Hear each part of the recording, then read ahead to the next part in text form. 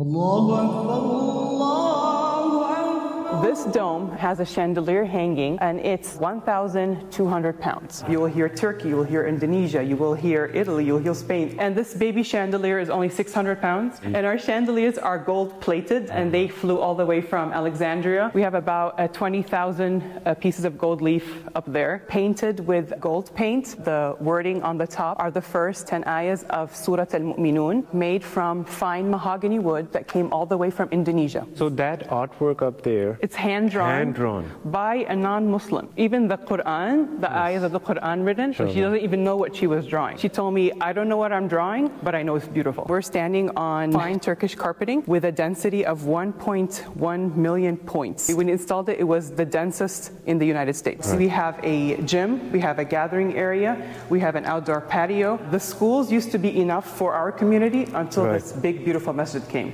And now we have people coming in from all over the states and some people coming from overseas to join this community. We had moms doing windows, cleaning windows. Really? We, if you build for a thousand, you'll have two thousand coming. If you build for two thousand, you'll have three thousand coming. We have many of our students that go off to college, come back here and get married here and live here. this room, sister, I so Fatuma Interfaith Room. Yes. So uh, What is here?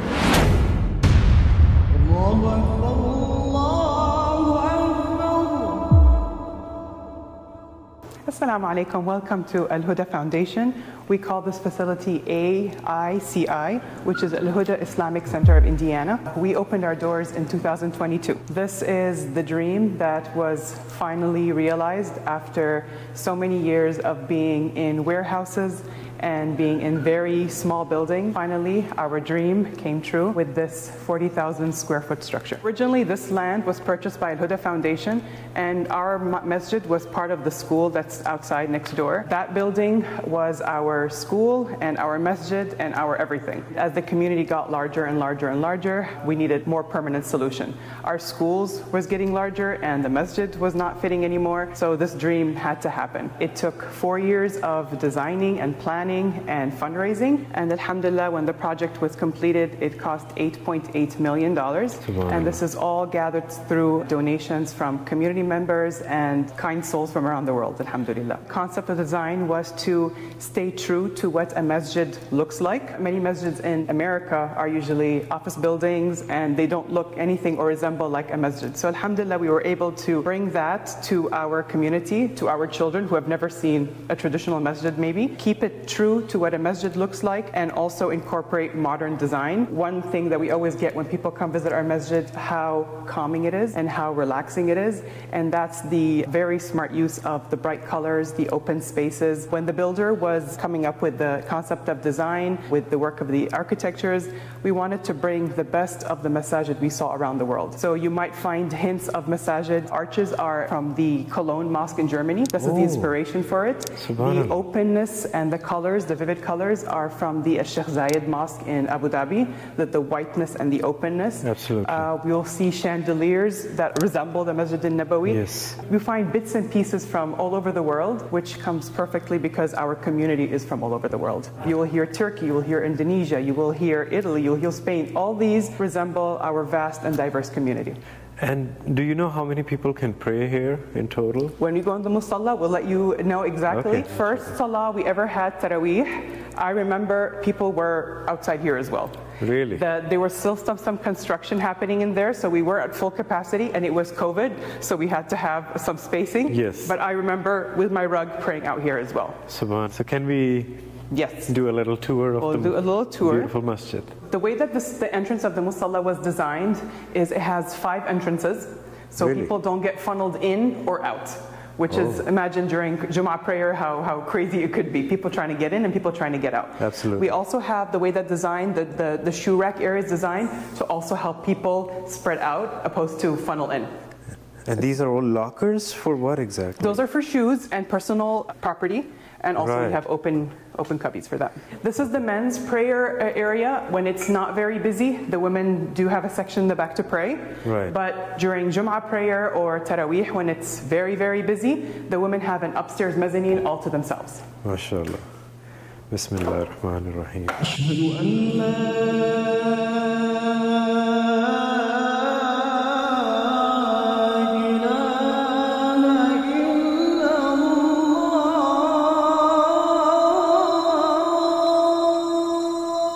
So, Sister Judy, tell us about beautiful design. So this is our main musalla, and the fire marshal estimated 1,116 worshippers can be here at once. I can see the beauty, the openness, the sereneness of this room, really what makes it very, very, very special. Yes, mashallah, it left me speechless when I entered, subhanAllah. Alhamdulillah, as you can see, we are blessed as women worshippers to also have a we call it the suite upstairs, where we're able to enjoy, see, and actually be fully immersed in everything that's happening in the main musalla. Between 15 and 1600 people in total. We also inside. have a, a room that we call it the uh, babysitting room, or it's a room where mothers and uh, children under seven can pray in there. So we also have an additional room where we can uh, have a prayer for the younger kiddos. If you want to start in this room from the from the floor up, um, we're standing on fine Turkish carpeting with a density of 1.1 million points. So this is Wow. I'm going to say when we built it or when we installed it, it was the densest in the United States. It took so many professionals to come and try and, and put it down because it was so hard to work with because it's so, so, so dense. This is the densest Yes. in the United States, subhanAllah. And it was imported all the way from Turkey.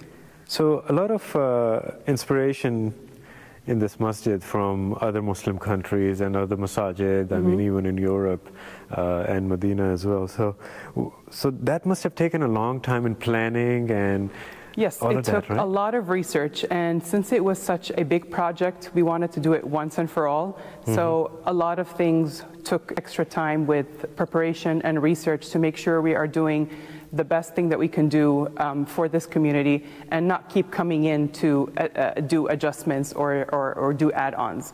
Um, uh, other things from other countries, if you look up here at the main wall, we have the, the, the wording on the top are the first uh, 10 ayahs of Surah Al-Mu'minun. And it is uh, made from fine mahogany wood that came all the way from Indonesia. Allahu Akbar. It took 30 days to travel from Indonesia to Fishers, and we had a master calligrapher come from Chicago to assemble it. Subhanallah. That, that is really amazing, mashallah. So, so the what was wooden, the reason? the wooden Yeah. stars you see on the walls, those were painted with uh, a gold paint by members of our youth community. So when we have younger children come in, they feel like a part of them is in the masjid right now, and each one of them claims a certain star. And what are their ages? The ones who were painting were the ages of 7 to 15. From the beginning, they feel that they have ownership Yes. in the masjid. Uh, um, it is, it's not only paid by the majority of the community, also the majority community had something to do with it. I came upon this project, it was coming close to when we were about to open, and we wanted to finish quickly with the lowest cost possible. Right. So we called upon the community to come in and help. So we were a group about of 15 moms who would drop off our kids at school and come here. And Right. uh, we would go up the scaffolding up there and, and do the gold leaf paper up there on the ceiling. Oh, really? We have about uh, 20,000 uh, pieces of gold leaf up there. Oh, 20,000. We also, uh, we- I was part of the group also who hand drew the stencils of the woodwork that goes around. Mashallah. And those were all hand drawn, and a carpenter was behind us hand cutting and sticking them on. So it was a race to finish by the end of the school year, and we also wanted to finish with the lowest cost possible. We called each other the Golden Girls because we would come and do the gold leaf up there. Absolutely. I mean, you say that you had a race to finish, but I mean, so much. Uh, I don't think there was a race because there's so much effort that the masjid, the Yes. people, the community took to, as you mentioned, uh, it came from Indonesia, the brother from K- Chicago, Yes. the calligrapher. And Yes, so it was definitely a group effort, and Alhamdulillah, by the grace of God, there was barakah and blessing in our time and effort that we were able to finish when we wanted to finish at the lowest cost possible. We had moms doing windows, cleaning windows. Really? We had, um, uh, we were we were all over the place. She is So that artwork up there yes, is it's hand drawn, Hand-drawn. by a non-Muslim. Even the Quran, the ayahs of the Quran written, um, she was drawing them out of following a reference. So She doesn't even know what she was drawing. She said, she told me, I don't know what I'm drawing, but I know it's beautiful. So- the ayahs on the uh, top of the dome are uh, Surah Al-Ikhlas, and they're drawn with 24 karat gold paint. In the middle of the Mm-hmm. That we see up there. It's so befitting for the foundation of our aqidah, our belief, to be in the middle of our musalla. I do feel that uh, Al Huda Foundation really put a, a lot of effort on the design and the preserving the Islamic tradition. And I mean, mostly other communities, they're just okay. We got the money. Let's just wrap it up and start praying. And but here, there was a lot of emphasis on all the beauty and Yes. the essence Yes. of the Islamic arts. So it was an expensive project. So mm-hmm. we wanted to be done right. We wanted to be in a way where our community members and our kids will be proud of our masjid. That's why we tried not to cut any corners. We didn't want to revisit this project every five years. Try to do it once and for all, Yeah. beautiful. No expenses were cut, but also anytime we could bring in someone who volunteered, mm-hmm. someone was in there to do it. The focus was for the children and the next generation to feel proud and confident and happy about being a Muslim. And, Yes. And, and just like you mentioned earlier, they're leaving for college or for something else, but they come back yes. to this community. So alhamdulillah they do and they, they do feel like this masjid is not only a place where they uh, worship and see their friends, it's also a place where we have people come in from out of town and say, can I bring in my uh, uh, family or my boss who wants to do a tour of this masjid? Really? They feel like it's so, they're so proud of this building and its beauty and its sereneness itself, I feel like is a source of dawah. We have people come in from church groups and from uh, retirement homes, and the number one thing they say is they feel this calmness and sereneness when they come in. They always tell us, can we just come by and just hang out? Like, sure, you can come by and hang out. During Jum'ah prayers, sometimes we find people clearly who are non-Muslim are in the back just sitting, listening, and, and just in, in, in taking in the beauty and the awe of this place. the place itself is doing dawah by itself without anybody saying anything. Yes, yes, alhamdulillah. We have many non-Muslim neighbors around who uh, we try to purchase their property so we can have more property, and they said, nope, we're staying. We Okay. get to look at this beautiful building, and alhamdulillah, we have a good relationship with our community to help with the excessive parking issue we get during Jum'ah prayers. We have three Jum'ah prayers to able to fit our community, but still the first is the, the busiest because it's usually during the lunch break. And uh, the city of Fishers has worked with us to uh, let us use a uh, parking lot that they have behind this pond. So we can actually, it's called Launch Fishers. We can park there and we created a trail, a walk trail, to add parking spots for our community because we didn't want to Oh, wow. park uh, in, in like in the streets, in the subdivisions, in the neighborhoods because that's normally what happens Yes. uh, in a masjid neighborhood. So the masjid created a trail for people to walk by the pond and park their cars. Yes, yes. Mashallah. Yeah. So That's creative. you come in and you have always someone from the masjid in a red, an orange vest either saying you can park or we're at full capacity. So they go over there. And this was due to our good relation with the city of Fishers Yes. that they provided this for us to, at no charge. Park your cars there and you can walk here. MashaAllah. And uh, that's really beautiful, though. Like, uh, was this location uh, near the pond? Was it intentional that you wanted it near the water? Because Yeah, so this location was purchased, Yeah. um, I'm going to say, over 10 years ago. Right. And due to the smaller community, we were not able to um, uh, fu- fully utilize it. So Right. that's why we only had the school next door, and the musalla was part of that school. Okay. But alhamdulillah, uh, they had enough uh, vision for the future to build something so beautiful and so serene. Yes. And uh, uh, we're able to develop it into what we want it to be.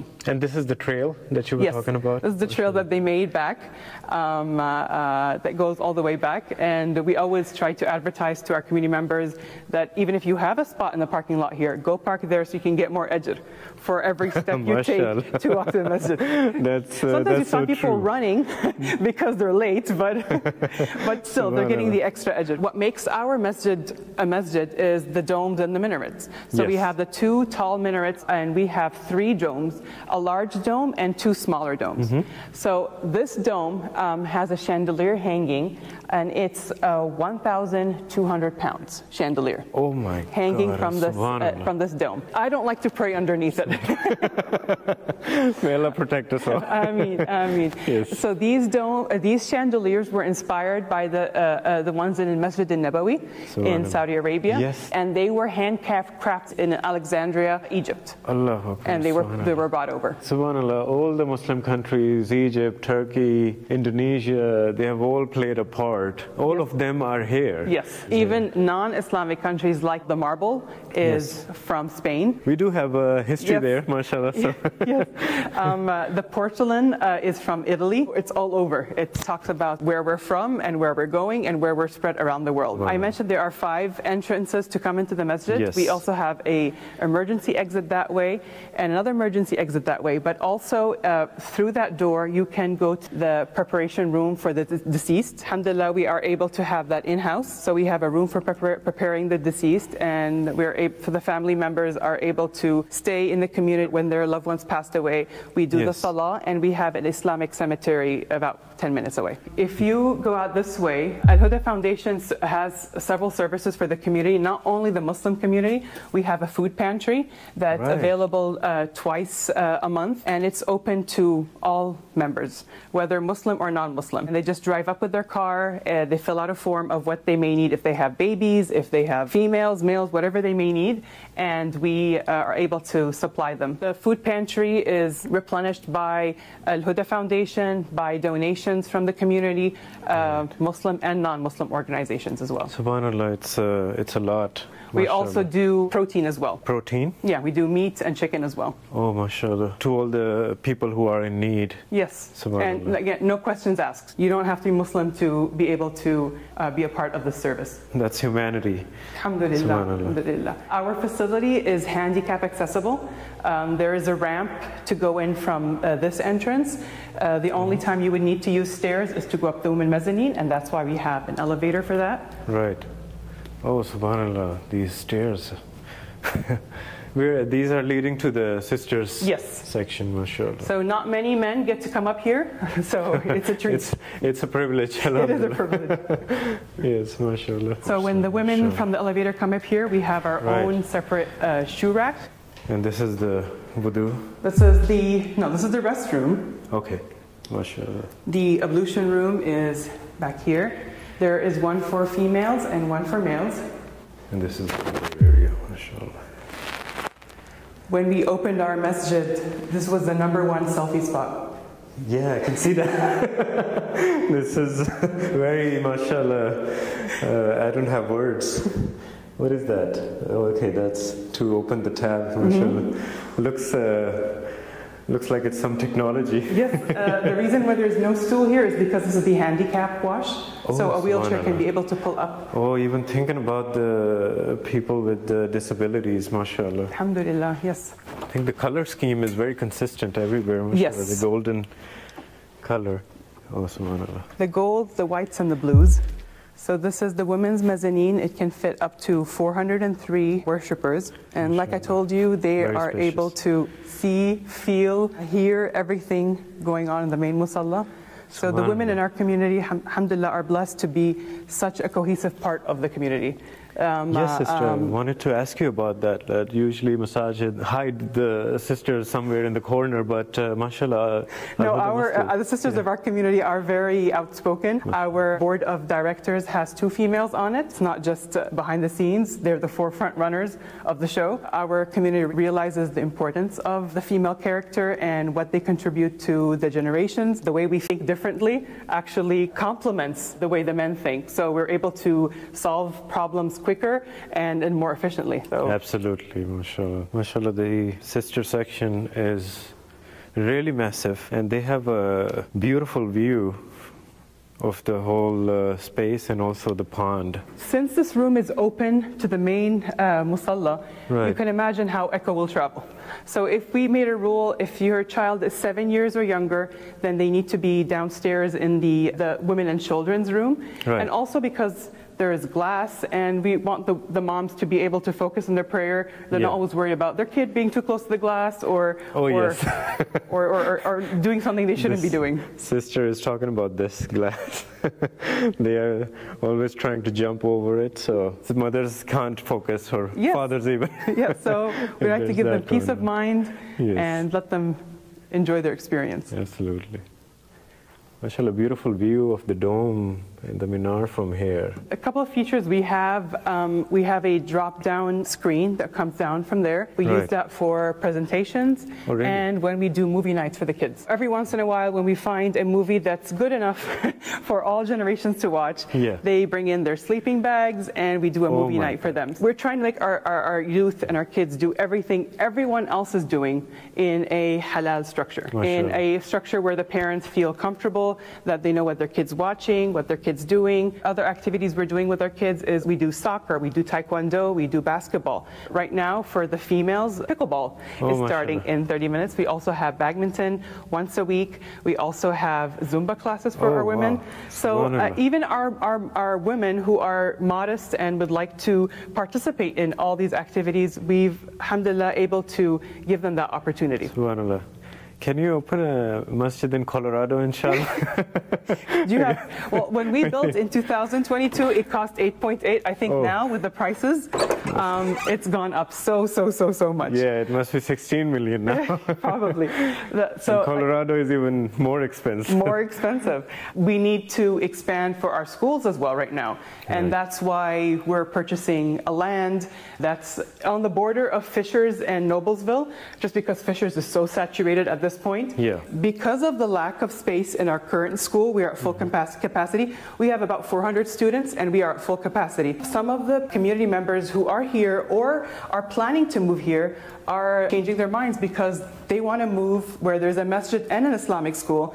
And when the Right. Islamic school uh, does not have capacity for them, they are unfortunately have to go somewhere else. Yeah. We have a beautiful masjid that's bringing people in and a full capacity school that's pushing people out. So that's why it's very important for us to build this school so it can keep keep all of our community members and also bring in more. Yeah, mashallah, it's a catch 22 situation, Yes. but uh, already serving so many people. This is the kids room, we call it. Oh, okay. this is the very important room in the masjid for Yes. uh, struggling parents. Even, even if you're a parent here with your child, you still have a state-of-the-art view equipment so you can hear, see everything that's going in the main musalla. So you're not, even, even if you're here, you're not excluded from the, from the main congregation. This room also, we do tahfiz classes in it. We also do youth gatherings. We have youth gatherings for boys separate and we have for girls. And they all have either with the imam or with uh, social workers, leaders, trying to keep all of our kids involved. This room, sister, I saw Fatuma Interfaith Room. Yes. So uh, What is here? Fatuma was a member of our community who was one of the original stars of interfaith that would go out into the community and have presentations for churches, other schools to explain Islam and answer their questions. She was one of the originals. Unfortunately, she passed away at the age of 19. So this room uh, is continuing in her name, in her legacy, and uh, inshallah it will be a sadaqah jariyah for her. The stars of Al Huda, the, the, our youth that do the presentations till this day, still continue what he, she and her group of friends started. To honor her. Mashallah, 19 years old. She she passed away unfortunately, but uh, mashallah, she, she did such good work in such a Yes, young yes. age. So people May who Allah know bless her or don't know her know of her. And uh, alhamdulillah, we were able to keep her uh, example uh, present with our youth, and everyone knows that this is something that she did, and her and her friends, and everyone else is contributing and, co- and, and continuing in that, inshallah. So tell us, sister, what goes on over here? So the interfaith room, from its name, we held a lot of the interfaith gatherings. I think it's mostly once a month. We have presentations for church groups, office groups, uh, political leaders to talk about what we are as a community and trying to express Islam to them. The major taking point we get from all of these meetings is how much they leave realizing that we are more alike than different. Hmm. And they're always surprised and at awe that they have, we have so much more in like than they ever thought. And the only reason that they realize this is because we open this channel of communication with them. Communication is the number one aspect that draws people in because we are always open to that. People come walk off the street and say, Can we attend your, your service, our Friday service? And we, of course, allow that. And Alhamdulillah, every once in a while during Jum'ah prayer, we hear that someone is, is, is reverting to Islam and we hear the takbirs. And, and this is all due to the open communication. And Alhamdulillah, uh, the majority of our members of our community are, are welcoming and represent Islam in a welcoming way.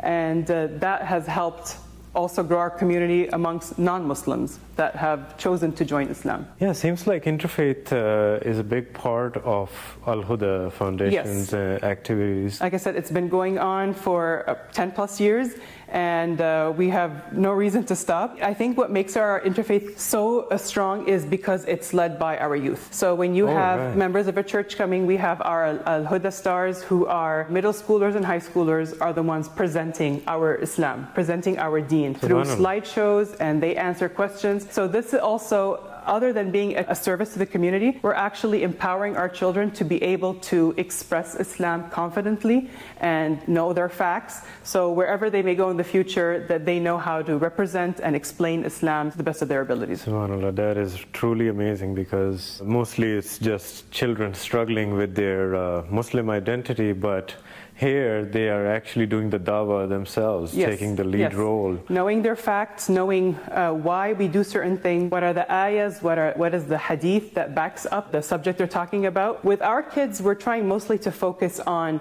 what is true Islam and take away a lot of our agendas of what was what we grew up with. Yeah. So a lot of things we grew up with is not true, true Islam. It's more traditions and more things passed down from generation to generation. We're teaching our kids to go back to the basics and find the fundamentals and find the proof behind the fundamentals so they're able to present Islam in the, the Hanif way.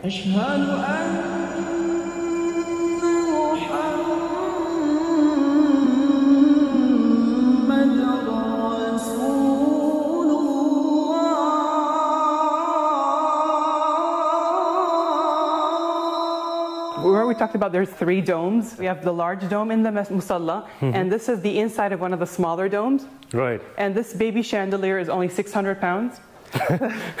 600 pounds, mashallah. And our chandeliers are gold plated, um, and they flew all the way from Alexandria to be here with us. Subhanallah, and you can see the names As-Salam, Al-Quddus, names of Allah written Mm-hmm. on the chandelier, Subhanallah, Al-Malik, all the beautiful names, and on the extended lights there's uh, the Prophet's name, Sallallahu Alaihi Wasallam. It's a lot to take in, sister. is, it is. this masjid, mashallah. So, with the, one of the ways we were able to keep cost lower, I'm not going to say down, but lower, is many aspects of this masjid were donated by community members. So, you can see in windows there are plaques in uh, memory of a deceased. Furniture was donated by a family member of a deceased as well. Every aspect had someone contribute to that in order to be able to keep it low in cost. so what is uh, the reason of this space? We call it the meet and greet area. We have this is rare, sister. I, I never saw a place for Yes, uh, people to sit when you um, on such a uh, large scale. If you go like in the middle of the day, you find sometimes people working on their laptops and doing some work here. It's Oh, like right. a library but with more angels. so this is what they do. Um, we have people having meetings, can meet with your uh, with the imam and discuss with him. So there are many Right. opportunities for us to meet and greet during Jum'ah prayer. This is basically our the biggest social aspect of the week. So either you're coming in from a prayer or leaving from a prayer, you gather together, you sit and talk. Every once in a while, we have uh, bake sales, we have small sales, so people will set up a table selling sweets or authentic meals. One of the uh, alhamdulillah blessings we have is to have our own in-house gym. Before we had a gym, we could only do away games, tournaments that happen in the uh, in the area. Like in Cincinnati, there's the Islamic school tournaments, and uh, we have a team, and we used, we always go and compete over there. But now we also have an, a room for our kids to practice, our kids to uh, be able to be ready. Mashallah. Oh my God.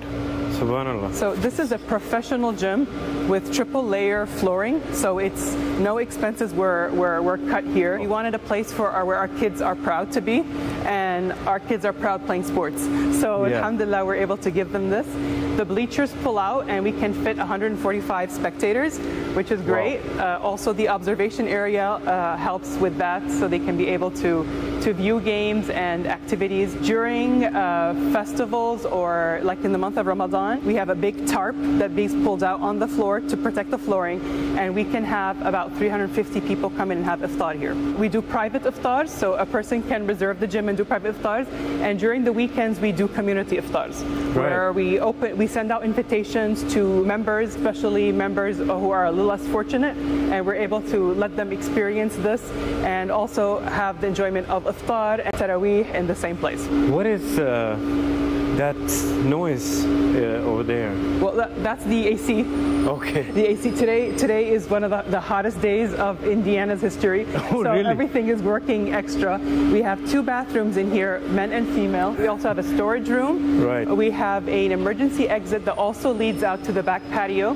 Our back patio is 28,000 square feet. It's also available for people. Some people rent it out and do special activities there. We also host the youth bonfire up here. Kids love it. We do it. Uh, we try to do it uh, let's say every couple of months, and they have pizza and fire, and it's and they just talk with whoever they want to talk. They're the imam, and Oh, it also has a beautiful view of the pond. And this is the trail that leads back to the parking as well. There are different markings on the floor, so it's not just basketball. We do volleyball, we do badminton, and like I said, pickleball is coming in soon. Pickleball is starting in Yes, less than a- half an hour. It's a, it's a new upcoming trend all Yes. over the place, And and. uh, sisters, uh, I think they love it, inshallah. they, they, they do really do, and especially because they're able to um, yeah. play sports in a conservative atmosphere where they don't feel comfortable being outside and doing that outdoors. Yes, absolutely. We have four offices here. Um, they're for the Board of Trustees,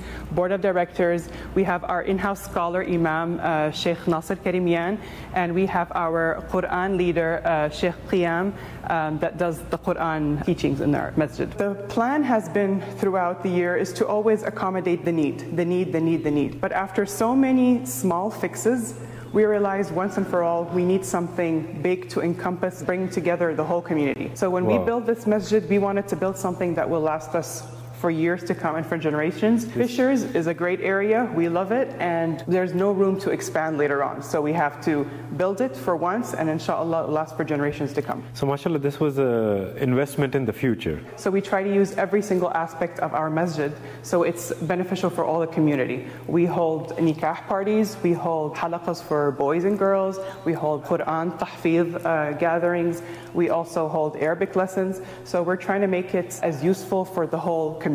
Al Huda Foundation also has three schools. The first school was the one next door, and now, alhamdulillah, we have three campuses that are spread out uh, throughout Fishers. But even that, we are at full capacity, so now we are purchasing a new land to build a bigger school. The schools used to be enough for our community until Right. this big, beautiful masjid came.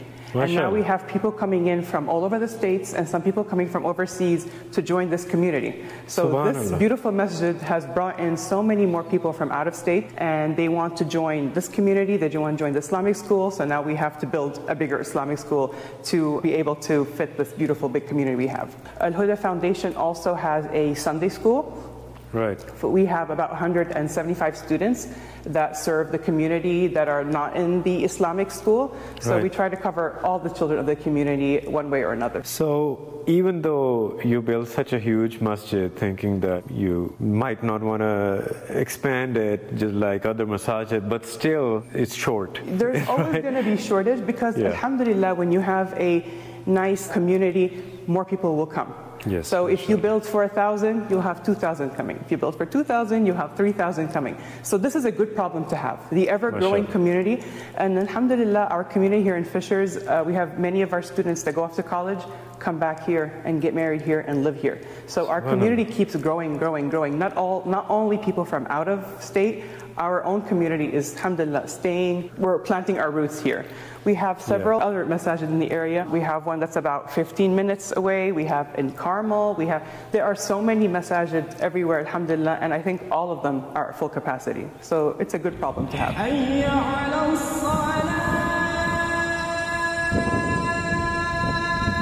It has a story of where it came from and, and, and the family that donated has their own story to tell. For example, the furniture was a community member who passed too soon uh, due to an illness. His family wanted to give an opportunity for him to continue getting good deeds, uh, although of his Sadaqah short jariyah. life. Yes. Yes. So uh, windows, doors, even like the conclaves, each one was sponsored by a family member to make it feel like this is part of them and this is part of their family members' heritage and sadaqah jariyah, and they're remembered. So you'd be sitting in this chair, see the plaque, you read Fatiha for this person. Mashallah. So this was something that was really, really personal to many of the community members. Subhanallah.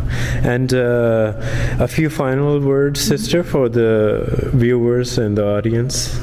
So, first of all, we would love you to come and visit. Our masjid is welcoming. Uh, we're open all five prayers. We always have activities going on for the kiddos. So, even if you don't live so close, you can still manage to come and, and be part of our community. Alhamdulillah, we have good relations with the community around us, Muslim and non Muslim. So, we always do activities together. So, anybody is welcome, Muslim or non Muslim, of course. Our biggest thing, we built this beautiful masjid. We need, we like to maintain it, of course. The cost of maintaining this masjid is pretty, pretty high. So anything uh, that anyone could help contribute will always, of course, it's sadaqah jariyah for them, and it will uh, help generations to come for this masjid to stay at its best for the longest time period.